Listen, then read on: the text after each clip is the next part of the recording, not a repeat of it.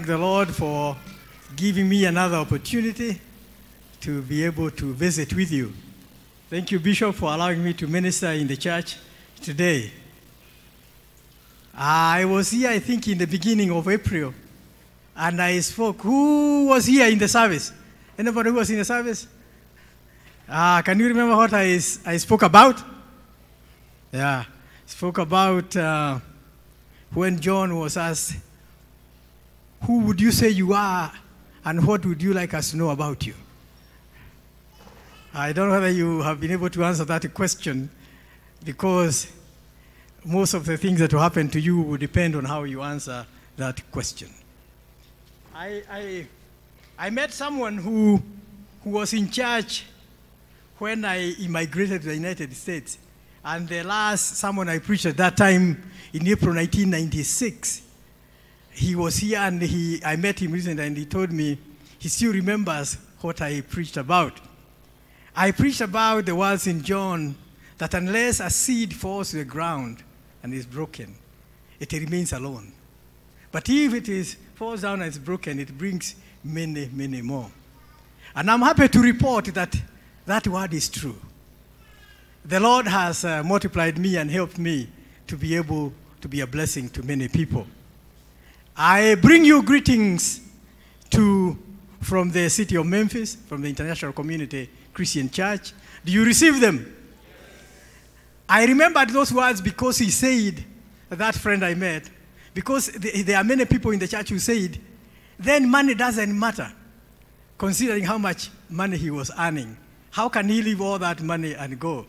Um, so, so I was amused uh, to hear that. But that is the word that the Lord gave me. And it, it's not the money or anything, but it's where the Lord is leading you to go. That's really what matters.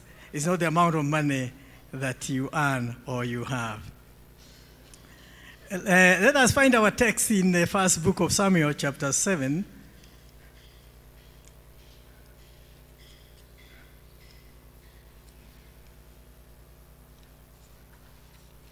Uh, I want to speak to you how to be a winner indeed. To be a winner indeed. You can be called winner or victory, but you might not uh, live to that name. Let us read 1 Samuel chapter 7. So the men of Kiriath Jearim came and took up the ark of the Lord they brought it to Abinadab's house on the hill and consecrated Eleazar his son to guard the ark of the Lord. The ark remained at Kiriath a long time, 20 years in all. I'm reading from the New International Version. Then all the people of Israel turned to the Lord. Verse 3 So Samuel said to all the Israelites, If you are returning to the Lord with all your hearts, then rid yourselves of the foreign gods and Ashtaroth, and commit yourselves to the Lord and serve him only. And he will deliver you out of the hands of the Philistines. So the Israelites put away their Baals and Ashtaroths and served the Lord only. Then Samuel said, Assemble all Israel at Mizpah, and I will intercede with the Lord for you. When they had assembled at Mizpah, they drew water and poured it out before the Lord. On that day they fasted and they confessed.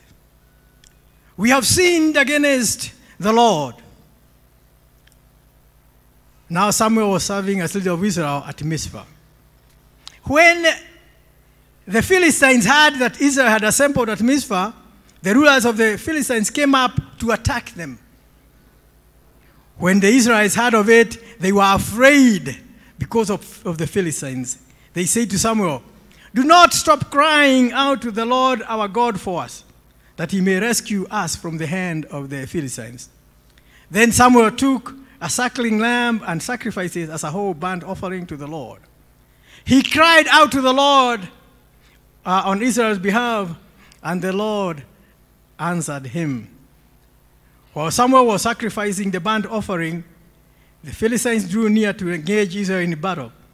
But that day the Lord thundered with a loud thunder against the Philistines and threw them into such a panic that they were routed before the Israelites. The men of Israel rushed out to Mizpah and pursued the Philistines, slaughtering them along the way to a point below Beth-kar. Verse 12. Then Samuel took a stone and set it up between Mizpah and Shen. He named it Ebenezer, saying, Thus far the Lord has helped us. How to be a winner indeed. The report that we have read here is a report of victory, where a people have experienced a great victory, where God, the enemy, is coming to attack, and God has just sneezed, has thundered. Simba wa Yuda akaguruma. He just thundered. The enemies were put in a panic. They did not even need to raise their hands. And uh, the enemy was defeated. Can you say they were winners? They actually won that battle. They won the battle. But this is the end of a movie. You are being shown the tail end of a movie. Because they are coming all the way from chapter 4. And already in this third battle, which the, the Lord has helped them to win, they have lost two battles. So they were losers. Now they are winners. So the question is how do you turn a loser to a winner?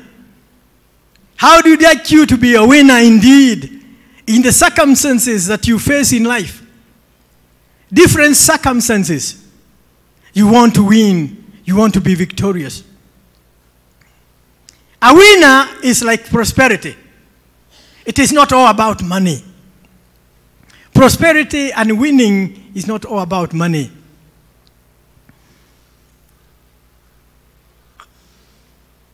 Because there are many things, indeed, there are many things that are more valuable, you cannot buy them with money. You cannot buy love with money. You can never buy joy with money. You can never buy peace with money. And these are the most expensive things. Indeed, when we try to entertain ourselves, we are trying to look for joy. It cannot be bought. So when we see winning and prosperity, we are not only talking money. But remember, money is also a part of winning, it's a part of prosperity. But it's not everything that it should be. A winner is not one who is Mr. Atlas. He's able to do everything by himself, to carry the earth on his shoulders. Mr. A winner is not a person who knows everything. But I want to suggest to you that a winner is the one who has a key to where he can get all the tools, to the storehouse, where you can get all the tools and the resources that you need. And that's what I want to maybe point to you to the key. So that you can have the key. Not that you are strong, but you know where to get the tools. Not that you know everything, but you, can, you know where to get what you need.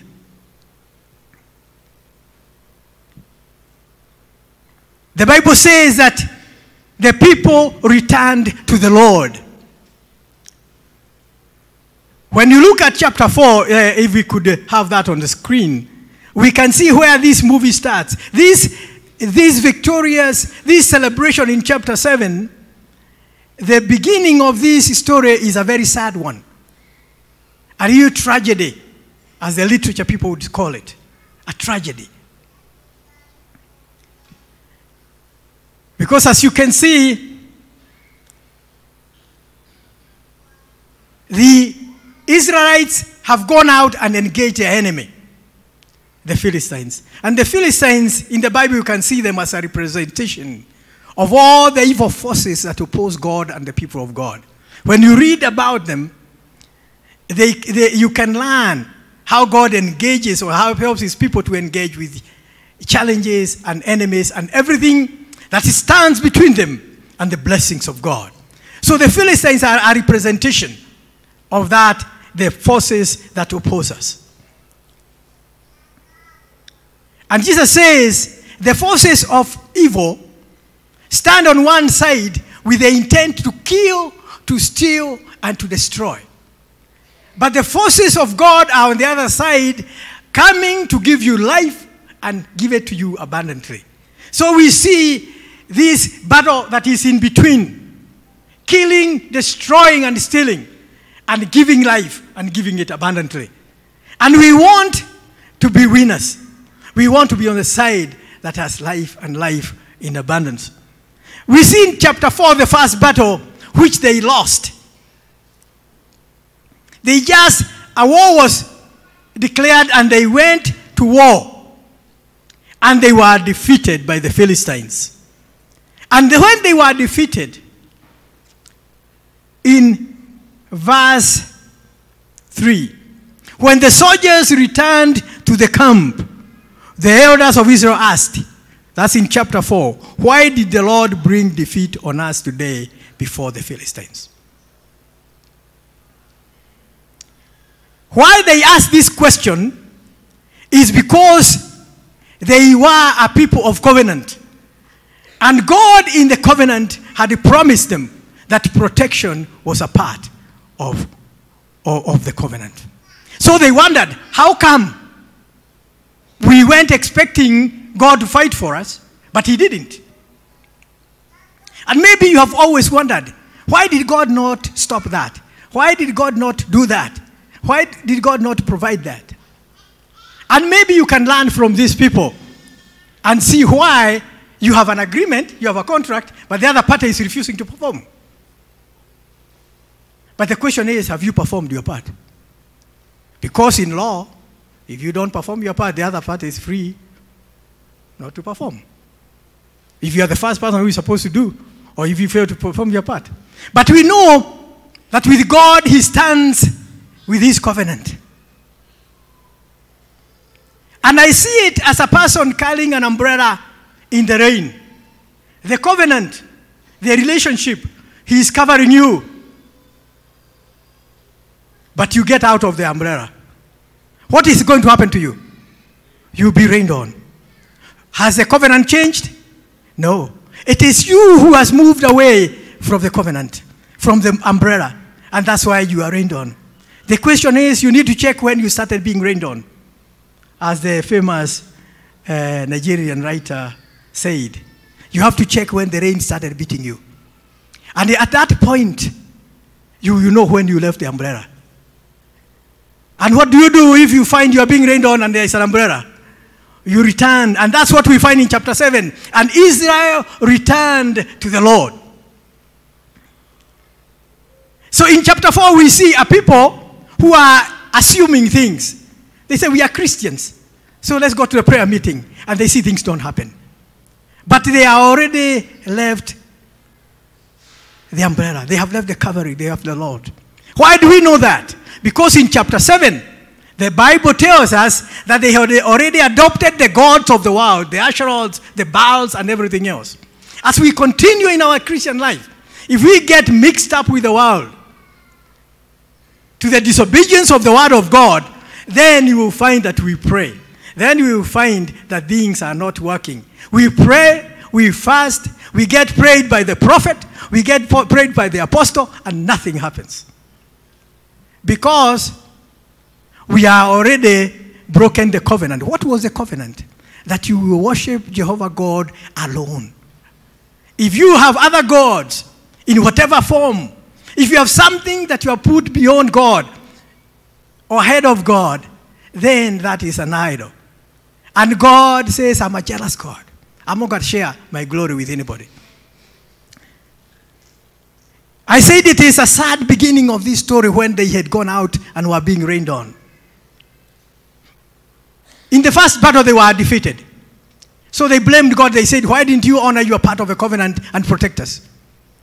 But I thought instead of blaming, they should have checked themselves and asked, Why maybe did he not honor? Could we maybe have done something?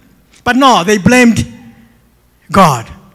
Someone wise has said, Whether you prevail or fail, it depends more on what you do to yourself than on what others do to you.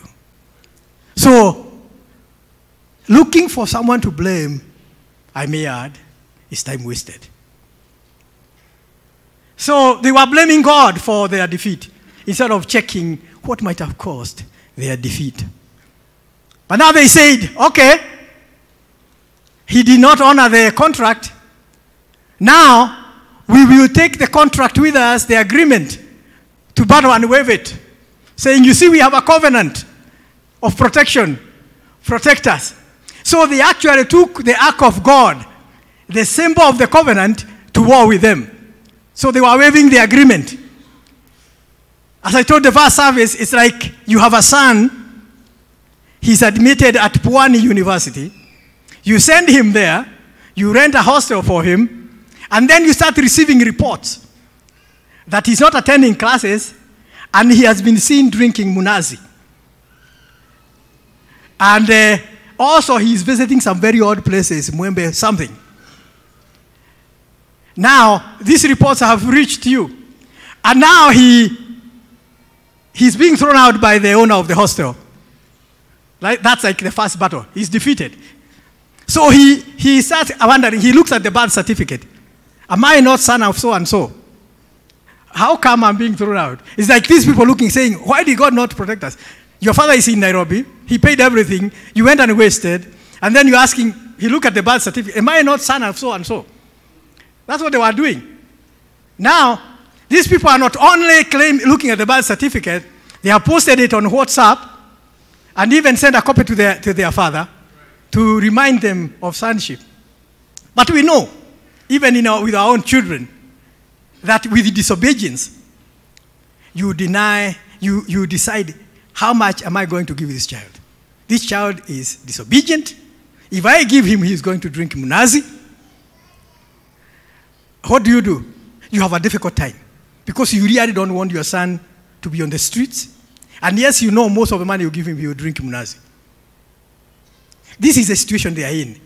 They have taken other gods, they have disobeyed God. They are out there, but they are showing the birth certificate. They are showing the document of the relationship. And that is the trouble that they are in.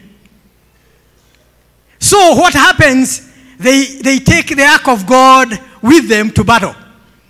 It's like this guy waving the birth certificate claiming, I am son and son of so. But the birth certificate is not the relationship. It's just an indication. The ark of the covenant is not the covenant itself. The covenant is the relationship. It is the God of the ark, not the ark of God. It is not the Bible of God, it is the God of the Bible. We must cut through like this old lady. When the crowd had surrounded Jesus and she was need of healing, she cut through the crowd and touched the hem of his garment. We must cut through the drama. The church is in this, the church today is in 1 Samuel chapter 4 to 7. A lot of drama. Drama. These people are playing drama. They carry the ark of God. A lot of things. You hear a lot of drama in the church. But all of it is empty. We need to cut through so that we can touch the hem of his garment. So that we can reach God, not his ark. So that we can cut through. When you have problems, you have to reach God. Even if you put the Bible under your pillow. You need to get the God of the Bible, not the Bible of God. It's not going to give you the peace. People play all kinds of tricks. You need to reach God. You need to relate to God directly. Jesus said, God is looking for people who will worship Him in the spirit and truth. That's what it actually means. You are not looking for something to teach because God is spirit.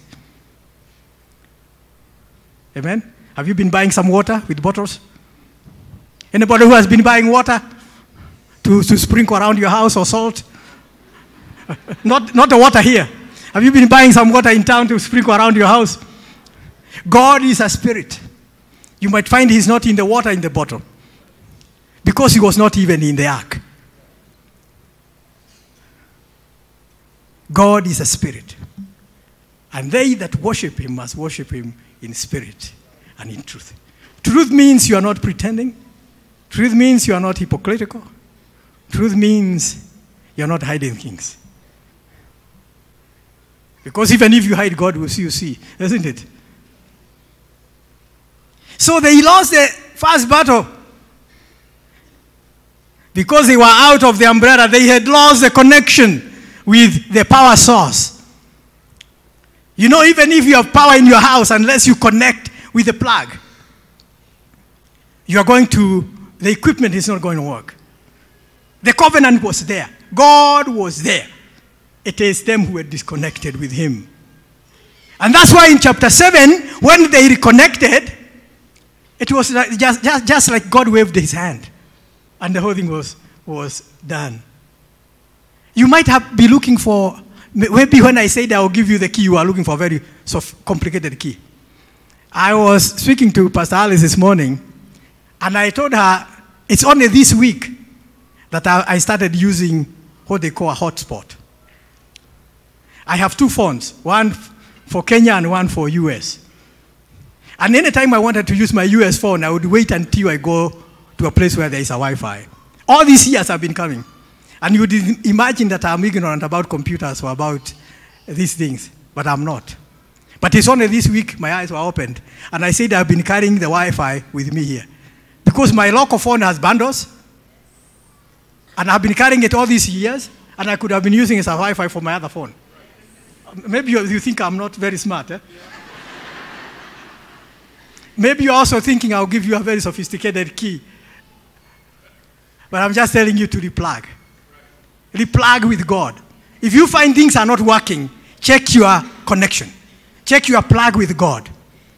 Don't say I've been a Christian for five years. That's not will not count. You're waving your birth certificate.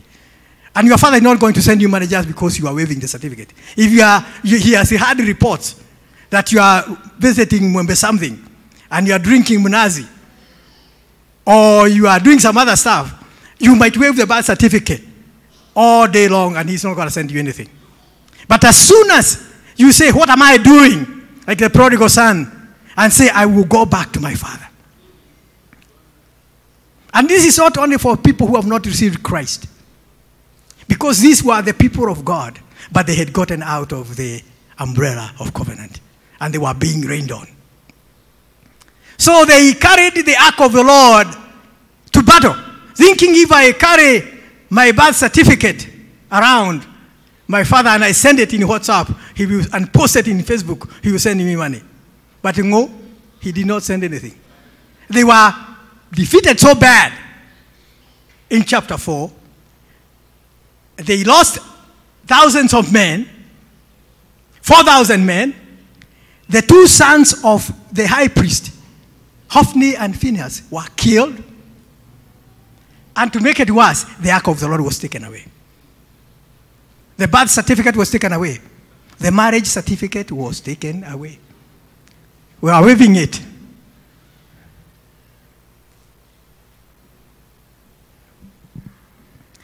It was a tragedy.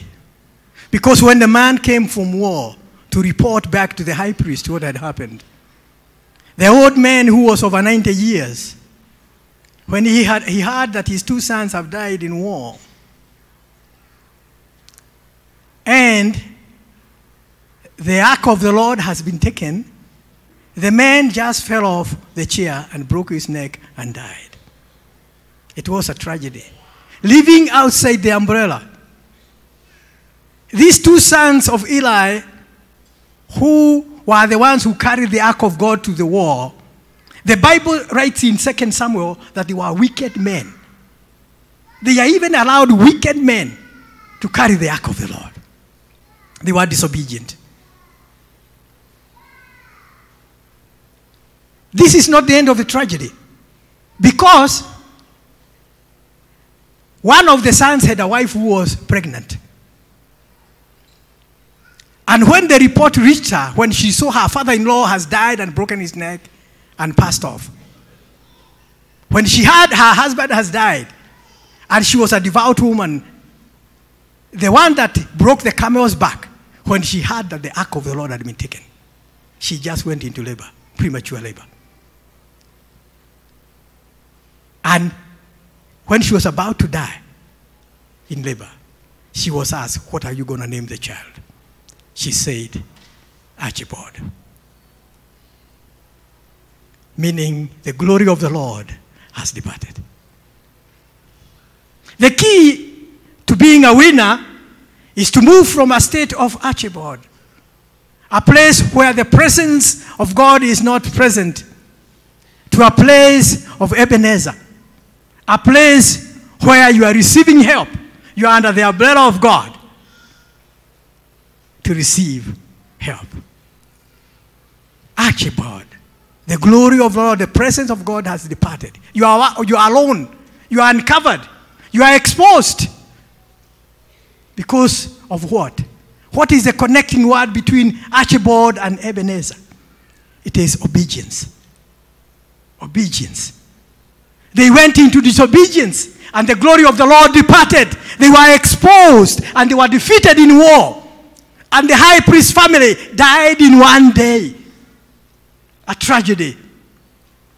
But we can turn tragedies into victories when we say, trust and obey, for there is no other way but to trust and obey.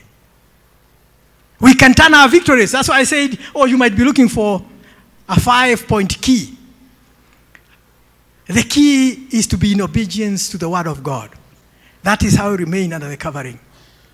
In chapter 7, the Bible says, Then all the people of Israel turned back to the Lord. So we can see for sure that when they were being defeated in the two battles, they had actually gone away. Because we are being told they returned. And when they returned, it did not even take time for God to act on their behalf. And I want to tell you, you who has remained away from God, who has you have been afraid you think if you give your life to Christ, something God bad is going to happen to you. I want to tell you, nothing bad is going to happen to you. In an instant, your life will turn from Ichabod to Ebenezer, where you will experience the blessing of God. Where the word of God will cause your life to come alive. You become a winner from a loser. Good readers of the Bible would notice that in chapter 4, they actually camped in a place called Ebenezer, where they lost. So you can see, you can be called victory or win and you lose. It is only in chapter 7, verse 12, that the word Ebenezer comes alive. Before they were actually in, where they were defeated, they, were, they a place called Ebenezer, but it meant nothing. But when God is present, your name comes alive. So it's not what you call, you call yourself. It is whether God is there. Remember Samson, confronted by the enemies. He looked around. And what did he get? A jaw of a donkey. You'd think he's looking for a gun or a machete or a spear. What he got was a bone of a donkey. And he killed a thousand men of the enemy. How come? Oh, you think a, a jaw of a donkey is a great weapon? No, it is not the jaw of a bone. It is what was giving power. The source of the connection that gave power to the bone. Don't think that the stones that David took are the ones that killed Goliath. It is the power that was behind the stone, the presence of the Lord. He said, I come to you in the name of the Lord. So, it is not the ark of God, it is the God of the ark. You can carry the Bible all day long, but unless it comes alive in your life, all the promises, you will have the promises of God, but not the God of the promises. And the connection between Ichabod and Ebenezer is obedience to the word of God. The Bible says obedience is greater than sacrifice. It doesn't matter what you do. If you are in disobedience, you find you are uncovered. You are uncovered. Because essentially, disobedience is actually walking away from the umbrella. You're actually refusing to hear what your father is. You're not going to school. You are in Pwani University. You've been admitted. He's, he hears you in the street. It's disobedience. And until he hears the report that you have started attending classes and you have stopped taking Munazi and you have stopped going to Mwembe something, then he will not send money for the hostel. You will be defeated again, you'll be on the streets. Because that's the relationship we have as a covenant people with God. We are God's children. And if we live in obedience, then you will find that your father, when you are in obedience, you are in Pwani University and you are going to school as you should be. You find he's doing things for you so that when you come during the holidays, you find already things lined up for you. Your father thinks ahead of you if you are an obedient child. And that is true of God as well. Read the scriptures. You will find that that is true. If you live in obedience, God will take care of your business even when you have not prayed. If you live in obedience. You can pray all day long in Karura forest, but if you are living in disobedience, you find you are uncovered. Chapter 7 Then all the people of Israel turned back to the Lord. So Israel, uh, uh, Samuel said, If you are returning to the Lord, with all your heart, then rid yourselves of the foreign gods and Ashtoreths and commit yourself to the Lord and serve him only. And he will deliver you out of the hands of the Philistines. Whatever your challenge is, look at your own life and see if there is anything that is of disobedience. Renounce it, reject it, and repent of it. And you will see that God will come and be able to help you in your situation. John said, Who has warned you, people, of the wrath to come? If you have said you have repented, bear fruits of repentance. That's what Samuel is telling these people. If you say you have repented, return to God, then throw away the other gods. If you say you are changing, then you have to cut off those habits. You have to cut off those friends who are influencing you in a bad way. You have to cut off those relationships. You have to renounce them and repent of them so that you can come back to God and be under the covering of God.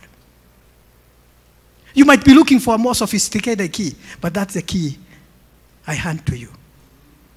Repent and renounce anything that's not of God. Paul says, pulling down even ideas and thoughts that are against the knowledge of Christ. You pull them down, you, you renounce them you repent of them. And you will find, you just say, in Jesus' name. You see, in the church we have a lot of drama. We have a lot of ringo. You know what's ringo? Ringo is when you have special language you speak. The church we have our own special ringo. And in the Acts of the Apostles, there are some people who had listened to the church ringo. They were called the sons of Sceva. These guys had heard that Paul would even send handkerchiefs and would heal people. So the sons of Sceva had heard Paul say, In the name of Jesus, in the name of Jesus, in the name of Jesus. So they, they went and confronted a man who had demons. And they said, In the name of Jesus. But the, the, the demon spoke and said, Paul we know and Jesus we know. Who are you? And there's a lot of ringo in the church today. A lot of people praying all kinds of things. We have to cut through and see God. Do not be deceived by every wind of doctrine. If you are with God, as I told you last time, we know God has given apostles, pastors, bishops, all the leaders, and you have to respect them. But you need to take yourself to God. Don't go looking for a man of God you are the man of God you've been looking for. You are the woman of God you've been looking for. That's why many people are being scattered all over because they are looking for the next You are looking for a shortcut. Why can't you pray for yourself? Why do you want me to pray for you? Then, if I pray for you, I charge you. Like, like people have been charged, they have been told, since I'm free and as a pastor and you are busy at work, give me money and I'll be praying for you. Why do you do that? That's not scriptural. You need to pray for yourself. You can give in the church, but not so that you can be prayed for when you are busy at work. Amen? Have you heard of any friends doing that? Tell them today you had a preacher who said it's not good. Next time you meet your friends who are doing that, who are paying money because they are busy at work so that someone can be praying on their behalf, tell them it's not scriptural. God wants you to have a direct line with Him. You are the man of God you've been looking for. You are the prophet you've been looking for. You are the apostle you've been looking for. Amen? Amen. Then, verse 5, chapter 7, Samuel said, Assemble Israel at Mizpah, and I will intercede with the Lord for you. When they had assembled at Mizpah, they drew water and poured it out before the Lord. On that day they fasted, and there they confessed. We have sinned against the Lord. When the Philistines, chapter verse 7, when the Philistines heard that Israel had assembled at Mizpah, the rulers of the Philistines came up to attack them. When the Israel heard of it, they were afraid because of the Philistines. They said to Samuel, Do not stop crying to the Lord our God for us, that he may rescue us from the hand of the Philistines. Then Samuel took a suckling lamb and sacrificed, sacrificed as a whole burnt offering to the Lord. He cried out to the Lord on Israel's behalf, and the Lord answered him. While Samuel was sacrificing the burnt offering, verse 10, the Philistines drew near to engage in battle. But the Lord thundered. And my prayer today is the Lord will thunder in your situation. He thundered against the Philistines and threw them into panic because they wondered what has happened. These guys were coming to fight us, and now we hear someone. It is like when Paul was going to persecute the Christians on the road to Damascus. A force greater than him throws him down on the floor. And he asks, Who is that? He said, Who is that, boss? Because anyone who throws you down, you have to call him boss. He said, oh, Who, who is that, boss? He said, It's Jesus, you've been persecuting me. The Lord will thunder. He was not persecuting Jesus, he was persecuting his people. God will speak and stand on your behalf. He will be the one to stand when your enemies attack you. They will find the thunder, they will hear a voice, and they wonder, What are you saying? No, it's not me. Because God will fight your battles. God will fight our battles. He thundered against the Philistines and threw them into such a panic. They were routed before the Israelites. Verse 12 Then Samuel took a stone and set it between Mizpah and Shen. He named it Ebenezer, saying, Thus far the Lord has helped us.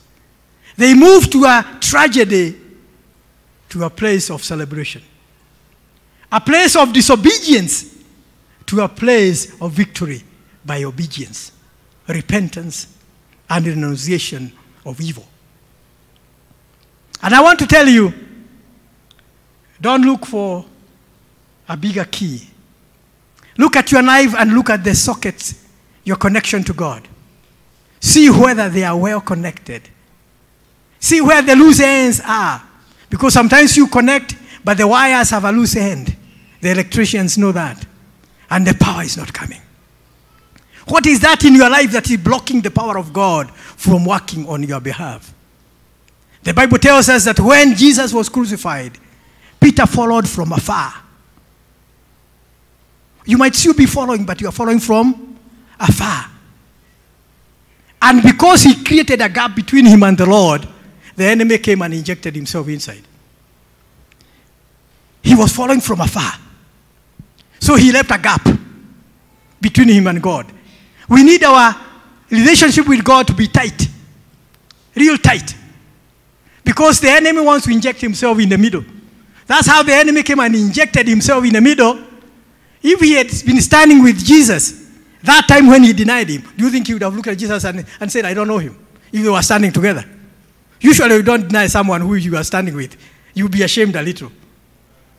But now, when he's far, you say, I don't even know him. I don't know, know him. He was following from afar. Maybe you've been following from afar, saying, I don't want to be too deep. I don't want to be too spiritual. Maybe you've been following from afar. You have reservations about the things of God.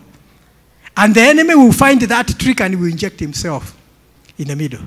And then you go some places, they say, Oh, why, why don't we partake on, on this? Then you don't know what to say because you've been following from afar. The enemy has already injected you and tricked you. But if you are following the Lord and people already know you are saved, you save yourself from, from these people are, tempting you. Those are simple keys. I don't bring with you any big key from America. Uh, it's a simple key, obedience. God is looking, is greater than sacrifice. That's God says. So check your life and find if there are areas of disobedience to the word of God. Renounce and repent. Get your connections right. And then you will be surprised at how God will start working on your behalf. Amen? Let's pray. Our Heavenly Father, we thank you for your word, which has spoken to us and reminded us that the battle is not ours, but yours. But we are going to lose battles if we are not connected with you, so that you, who is a power source. We therefore pray, Lord, that you may help, help us to examine ourselves, to find where the loose connections are, to find where we have disconnected from a power source, to find where we have moved away from the umbrella, the covering of God, and we are being rained on by all kinds of things. We pray that you may save us from drama, that you may help us to cut through the noise, to cut through the drama, to cut through the circus, to cut through all the physical impediments, and realize that you are a spirit, and they that worship you must worship you in spirit and in truth. Lord, I pray for each family represented here, each individual. That, Lord, your blessings which make rich and add no sorrow will be their portion today. That you may thunder in their situations. That you may say, Peace be still, and the winds and the storms of life will be quieted.